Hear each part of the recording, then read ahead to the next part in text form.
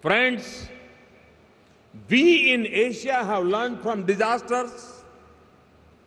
A quarter century ago, only a handful of Asian nations had national disaster management institutions.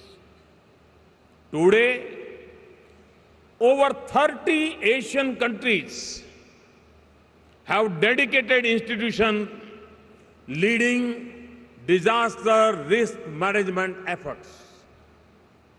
After the Indian Ocean tsunami of 2004, the five worst affected countries brought in new laws for disaster risk management. In a couple of days, we will observe the first International Tsunami Awareness Day. This would be an occasion to celebrate the huge improvements we have made in tsunami early warning. In December 2004, the Indian Ocean tsunami caught us unprepared and there was no warning.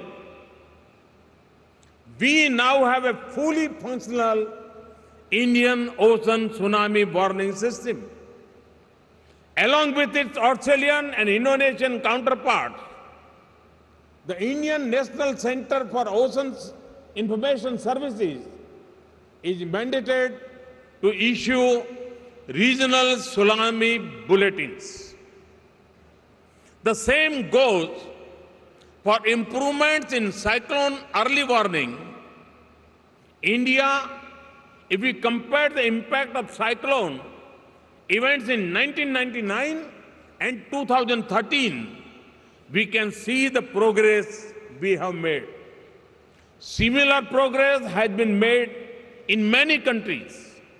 For example, after the 1991 cyclone, the government of Bangladesh launched a large community-based cyclone preparedness program. It led to a significant reduction in loss of lives from cyclones. It is now recognized as a global best practice. will come to I tell you, Has anyone replied? They don't want the truth to come out.